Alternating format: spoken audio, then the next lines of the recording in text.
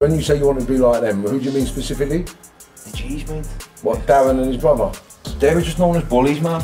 So today we've got a a nice episode with a family member. Smart. Yeah, our Liam. Literally just found Come that on. out.